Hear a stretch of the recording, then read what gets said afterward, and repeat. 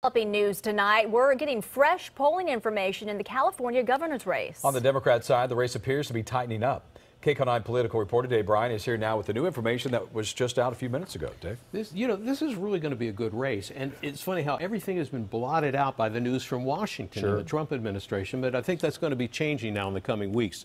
The new poll tonight from the Public Policy Institute of California, PPIC, shows the two well known Democrats are running neck and neck in the race to become the next governor of California. But the poll comes out just 24 hours after three Republican candidates for governor opened a new attack attack strategy on the leading Democrats and their alleged personal behavior. Well, no, it's, that's the governor and the legislature, as progressive as they've been. A new poll just released Wednesday night shows the race for California governor could go down to the wire, with Lieutenant Governor Gavin Newsom and former LA Mayor Antonio Villaraigosa leading the pack. Oh, yes. The poll of likely California voters shows Newsom with 23% and Villaraigosa with support from 21% of those who were polled, with nearly a quarter of the voters, 24%, undecided. The five other major candidates are in single figures. The poll was taken up to a week ago.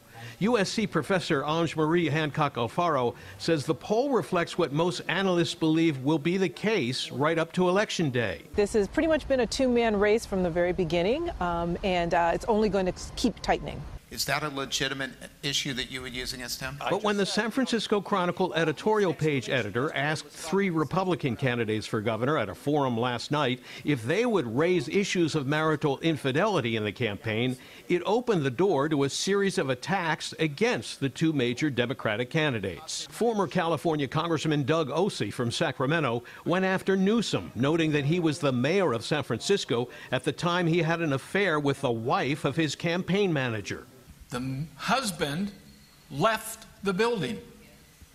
And Gavin Newsom somehow or another found himself in a situation alone with this woman doing stuff that shouldn't have been done. It's predatory and it's corrupt. And it needs to stop. And the only way to do it is take them out of office. Newsom has apologized on many occasions, including this week at a candidate forum in San Francisco on Monday. But another Republican said apologies aren't enough. I take issue with Mr. Newsom just passing it off as an indiscretion of his and a moral lapse. It was far, far more than that. It was an endangerment to his position as a leader of this city.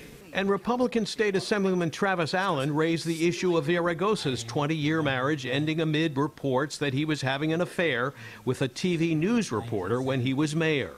Both of them have, you know, some pretty serious marital infidelities. This is a real issue. What we're looking at is the moral character of these people. But Allen may have a credibility problem himself, charging the moral character of these people is at stake. This week, Allen's name surfaced when the state legislature released records on sexual harassment investigations. He was accused of inappropriately touching one of his staffers who charged that during a briefing, he slid his foot over so that it was touching hers. The document says Allen did not recall the complaint. Professor Hancock Alfaro says the Republicans would like to link the leading Democrats to the current Me Too wave against sexual harassment and abuse to knock out at least one of them from getting into the November runoff. I'm not sure that marital affairs between consenting adults can kind of get wrapped up into, you know, kind of the public attention towards sexual misconduct. Um, and so I think that's what the Republican candidates were trying to do last night was to kind of join forces in that critique of the Democratic candidates as they compete themselves to kind of be what will likely be the number two person on the ballot. Now, just to be clear, Assemblyman Travis Allen, who is the leading Republican in tonight's gubernatorial poll, has said that incident cited in the legislative records was an unsubstantiated complaint. The woman who filed the complaint said the incident happened during a briefing. Jeff, Andrea, back to you.